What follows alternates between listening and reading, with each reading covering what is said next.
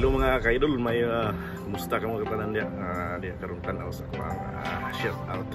So pasalamatan nato ang una ang atong Panginoon nga medyo naghatag na to kahimso kapiskay sa atong lawas. Ingon man ang atong at panahon karon nga ano kaway.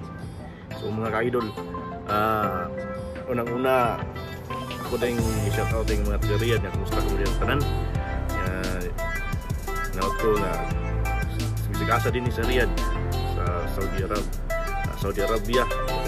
So una-una akong kumustahan ako silingan dito sa exit 34 so medyo karon nga murag ng mugaway naadik ko adik naadik paron diri sa rooftop.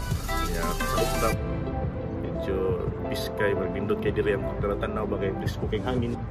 Kunya kay idol na to din pasalamatan lang atong mga silingan karon nga di adiri sa diri sa Riyadh. Diri sa exit 34 kung kinsa tong mga taga exit 34 so kaway-kaway gini nyo diha. Shout out sa mga taga exit 34 niya sa dinhing dakbayan sa Riyadh. Shout out nito tanan so sa una diha ako sa exit 8 sa akong siya share kalam. So diha di sa kita mga katropa diha. Ara di ko diri magtambayan diha? Top magtambayan diri